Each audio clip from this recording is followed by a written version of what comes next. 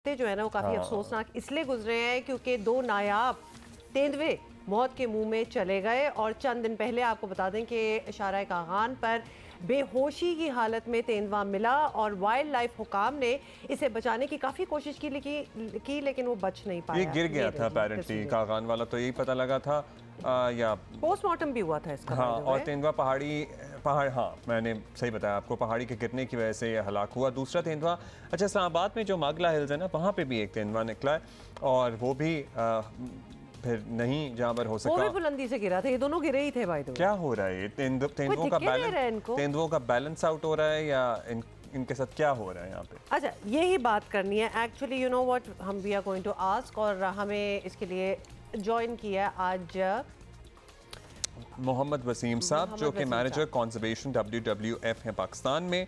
और हम किस तरह से अपनी जंगली हयात का तहफ़ कर सकते हैं? इस मौजू पर हमने उनको जहमत दी है। अ, अच्छा ये बताइएगा वसीम साहब शुक्रिया। एक तो हमारी जो इंडेंजर्ड स्पीशीज़ थी अक्रॉस द कंट्री क्या स्टेटस है अभी उनका? क्या वो ख़तरे के लेवल से बाहर आ गई हैं? या फिर अभी भी कुछ हैं ऐसी जंगली हयात जो इंडेंजर्ड ही कंसिडर होंगी? जी, बहुत बहुत शुक्रिया। जी हाँ पाकिस्तान के अंदर काफ़ी सारी ऐसी स्पीशीज़ हैं जो कि ह्यूमन पापोलेशन बेसिकली इंसानी आबादी जो पाकिस्तान के अंदर और बाकी डेवलपिंग कंट्रीज़ के अंदर जो इजाफा से और साथ साथ जो नेचुरल हैबिटेट्स जो हैं, वो डिग्रेड हो रहे हैं और इंसानी अपनी ज़रूरियात के लिए इंसान ने उन जगहों को, उन मस्कन को कन्वर्ट करना शुरू कर रखा है। तो बेसिकली आप ये समझें कि जो इंडेंजर्ड कैटेगरी के अंदर जब स्पेशीज़ को हम कहते हैं कि आ रही हैं तो वो मेजर रीज़न उनके हैबिटेट लॉस की वजह से आता है कि जिस टाइम पे एक वाइल्ड लाइफ स्पीशी को अपना हैबिटेट नहीं मैसर होता और उसके अंदर बहुत सारे मसाइल पैदा हो रहे होते हैं तो उस टाइम पे उसकी पॉपुलेशन के अंदर कमी आना शुरू हो जाती है। तो येस पाकिस्तान के अंदर भी आ, जैसे बाकी ममालिक के अंदर भी हैं इसी तरह से बड़ी तेज़ी से इस टाइम पर बहुत सारी ऐसी स्पीशीज़ हैं जिस तरह से डॉल्फिन है स्नो लेपर्ड है, कॉमन लेपर्ड है, इंडियन पेंगुलिन जिसको हम कहते हैं इसी तरह से बहुत सारी ऐसी मज़ीद स्पीशीज़ भी हैं जो कि इस टाइम पे ख़तरे से दो चार हैं। अच्छा वसीम साहब, ये बताइएगा कि ये तेंदुआ जिसको के साथ हमें वीडियो वगैरह भी दिखा रहे हैं मतलब एक दो हफ़्ते में दो गिर के उनका इस तरह मर जाना या फिर इंजरीज होना, ये क्यों हो रहा है? मतलब वो क्या अपनी हैबिटेट से बाहर निकल आए हैं एक्सपोज हो गए हैं? इसका रीज़न क्या आप देंगे?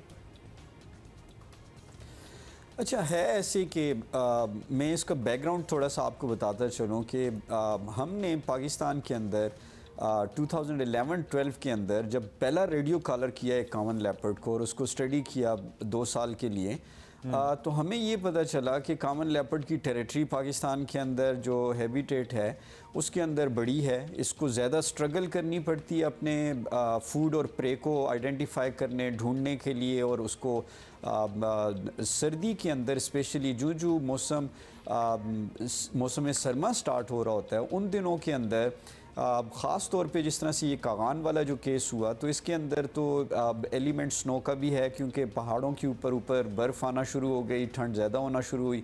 और जो इसका प्रे बेस या लेपर्ड जिन चीज़ों के ऊपर डिपेंड कर रहा होता है, फ़ूड के लिए, मंकीज़ हो गए लंगूर हो गया, इसी तरह से बाकी जो स्पीशीज़ होती हैं, वो सारी नीचे आबादी की तरफ़ आ रही होती हैं। तो उसी में लेपर्ड को भी स्ट्रगल ज़्यादा करनी पड़ती है। ये जिस टाइम पे आ, ऐसी लोकेलिटीज़ और ऐसे एरियाज़ से शिफ्ट हो रहा होता है मूव कर रहा होता है तो उसमें से स्ट्रगल के दौरान इस तरह के इंसिडेंसेस आते हैं।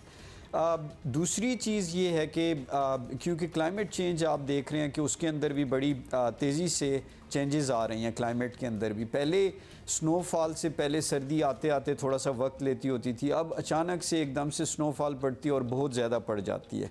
इंटेंसिटी ऑफ़ द वेदर जो है वो एक मेजर रीज़न है। बाज़ टाइम पे एनिमल्स को बड़ा क्विकली मूव करना पड़ता है। बहुत सारी स्पीशीज़ उस एरिया से वहाँ से मूव कर रही होती हैं हैबिटेट क्योंकि वो सपोर्ट नहीं कर रहा होता। अब इसी तरह से बास टाइम पे हम देखें तो ह्यूमन वाइल्ड लाइफ कॉन्फ्लिक्ट जो है, या ह्यूमन लेपर्ड कॉन्फ्लिक्ट जो है क्योंकि जिस टाइम पे लेपर्ड आबादियों के करीब आता है तो आ, हम ये भी देखते हैं कि वहाँ पे लाइफ स्टॉक के ऊपर ये लोगों की जो होती हैं वो फ्रीली ग्रेस कर रही होती हैं उनके ऊपर अटैक्स करते हैं। और उन अटैक्स के नतीजे में इन रिएक्शन या रिटेलिएशन में कम्युनिटीज़ जो हैं वो आ, इसके बिहेवियर को नहीं समझ पाते इसको समझ आ, समझने का वक्त नहीं दे रहे होते और उसमें बास टाइम पे पॉइजनिंग कर देते हैं और बास टाइम पे इसकी किलिंग भी करते हैं। जी। बहुत शुक्रिया आपका वसीम साहब। Unfortunately that all that's all the time we have लेकिन आपने बड़े मुख्तर वक्त में बड़ा अच्छे से हमें